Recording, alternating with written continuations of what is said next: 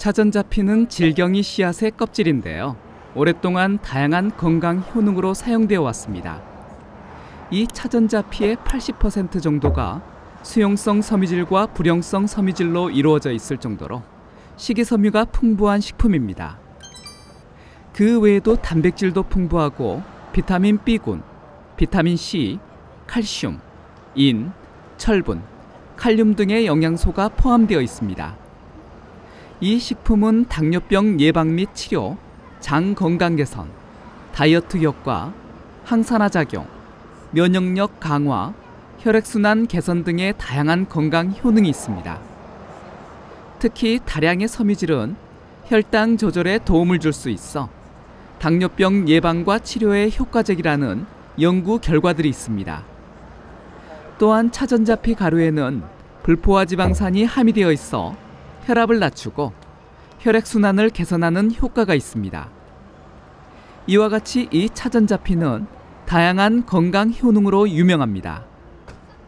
오늘 영상에서는 이 차전자피가 당뇨병에 도움이 되는 이유를 연구 내용과 함께 살펴보고 건강하게 섭취하는 방법과 섭취량 그리고 언제 먹는 것이 건강에 도움이 되는지 알아보도록 하겠습니다. 먼저 차전자피는 당뇨병 혈당 조절에 큰 도움이 될 수 있습니다. 이 식품에는 수용성 섬유질인 베타글루칸 성분이 풍부하기 때문인데요. 이 성분은 소장에서 당분을 흡수하는 속도를 늦춰 혈당 상승을 완화시키는 효과가 있습니다. 또한 인슐린 저항성 개선에도 도움이 됩니다. 당뇨병에 좋다는 연구 내용을 살펴보면 한국식품영양과학회지에 게재된 연구에서 차전자피가 당뇨병 혈당과 췌장 베타세포에 미치는 영향을 조사하였습니다. 그 결과 2주간 섭취하여 혈당 수치가 유의미하게 낮아졌고 췌장 베타세포의 인슐린 분비 기능이 향상되었습니다. 연구원들은 차전자피를 섭취하는 그룹이 인슐린의 농도가 낮으면서도 혈당을 낮추는 것으로 보아 혈당 조절에 효과적이라고 말하고 있습니다. 또 다른 연구인 2018년도에 대한변비학회지에 게재된 연구를 살펴보면 당뇨병이 없는 건강한 사람과 당뇨병 환자로 나누어 차전자피를 섭취하게 하여 어떤 영향을 주는지 조사하였습니다. 4주간 차전자피를 섭취한 결과 두 그룹 모두 혈당 수치가 감소하기는 하였으나 당뇨병 환자 그룹이 더 큰 폭으로 혈당이 낮아지는 것으로 나타났습니다. 그 외에도 인슐린 저항성 지수도 더 크게 감소하였습니다. 이 차전자피가 당뇨병에 도움이 되기 위해서는 적절한 섭취 시기와 양을 지켜야 하는데요. 일반적으로 차전자피는 식사 전에 섭취하는 것이 좋습니다. 차전자피를 물에 섞어 식사하기 30분 전에서 1시간 전에 섭취하면 혈당 상승을 억제할 수 있습니다. 양에 대해서는 개인의 상황에 따라 다르기는 하지만 일반적으로 물 한 컵에 한 스푼 약 5g을 넣어 드시면 됩니다. 이렇게 하루 세 번 매 끼니 챙겨 마셔도 좋고 하루 두 번 섭취해도 도움이 됩니다. 실제로 당뇨병에 도움이 되는 섭취 방법과 양에 대한 연구가 있는데요.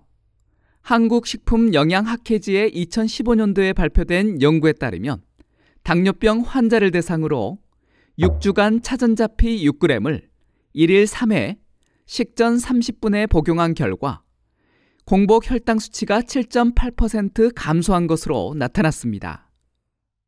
또 다른 대한임상병리학회지의 2017년 연구에서는 12주 동안 차전자피 5g을 1일 2회 식전 30분에 복용한 결과 섭취하지 않은 대조군에 비해 혈당 수치가 크게 감소하였다고 밝히고 있습니다. 그럼 밥을 먹은 후에 섭취하는 것은 좋지 않을까요? 꼭 그렇지만은 않습니다. 대부분의 연구들이 식전에 먹는 것이 혈당 수치 감소 효과가 좋다고 밝히고는 있지만 식후에 먹는다고 당뇨병에 해로운 것은 아닙니다. 차전자피는 섬유질이 아주 많이 함유되어 있기 때문에 처음부터 섭취량을 정하기보다는 아주 소량으로 시작해서 천천히 양을 늘려나가는 것이 좋습니다. 차전자피 하루 권장 섭취량은 개인에 따라 5g에서 20g입니다. 차전자피는 당뇨병 혈당 조절뿐만 아니라 다양한 건강 문제에도 도움이 됩니다. 먼저 첫 번째로 콜레스테롤 수치를 감소시켜 줍니다. 다량의 수용성 섬유질과 식물 화합물이 풍부해 콜레스테롤 수치를 낮추는 데 좋습니다. 두 번째는 소화기 건강을 개선시켜 줍니다. 차전자피의 불용성과 수용성 섬유질이 변비를 예방하고 장내 미생물 균형을 개선하여 소화기 건강에도 도움이 됩니다. 세 번째는 면역력 강화에도 좋습니다. 이것에는 비타민 C, 비타민 E, 카로티노이드 등 다양한 항산화 물질이 함유되어 있어 면역력 강화에 좋습니다. 그 외에도 항염증 작용이 있어 관절염, 골관절염 등의 염증성 질환 예방에도 좋고 다양한 미네랄과 비타민이 함유되어 있어 영양 공급에도 도움이 됩니다. 먹는 방법도 물에 섞어 먹는 것 이외에도 다양하게 활용할 수 있는데요. 샐러드에 뿌려 먹거나 찌개에 넣어서 맛을 더해줄 수 있습니다. 과일 주스나 야채 주스에 넣어서 먹어도 좋고 케이크나 빵 등을 만들 때 이용을 해도 좋습니다. 이처럼 개인의 취향에 따라 다양한 방법으로 활용될 수 있습니다. 단, 한 번에 많은 양을 넣지 않도록 주의해야 합니다. 그럼 이 차전자피는 어떤 부작용이 있을까요? 다량으로 섭취할 경우 소화기 문제가 발생할 수 있습니다. 한국식품과학회지의 연구에 따르면 차전자피 가루를 1일 권장량인 15g 대비 20배나 많이 섭취할 경우 설사 등의 위장관 증상이 나타났다는 결과가 있습니다. 또한 이러한 부작용은 오랜 기간 섭취했을 때도 나타날 가능성이 있다고 밝히고 있습니다. 대한한방내과 학회지에서 발표된 연구에서도 차전자피를 다량 섭취 시에 위장관 이상 증상이 발생한다는 결과가 나왔습니다. 하지만 전문가들은 권장 섭취량을 준수하면서 섭취하는 경우 부작용은 거의 없다는 것이 일반적인 의견이었습니다. 지금까지 이루어진 여러 연구에서 차전자피는 혈압과 혈당을 낮추는 효과가 있는 것으로 나타났는데요. 그렇기 때문에 당뇨 약물이나 혈압 약물을 사용하고 있다면 섭취 시 약물 상호작용이 발생할 수 있습니다. 그리고 알레르기 반응을 일으키는 경우는 드물지만 체질에 따라 알레르기 반응이 발생할 수 있으므로 처음 섭취할 때에는 적은 양부터 시작하여 체질 반응을 주시하는 것이 좋습니다. 도움이 되었나요?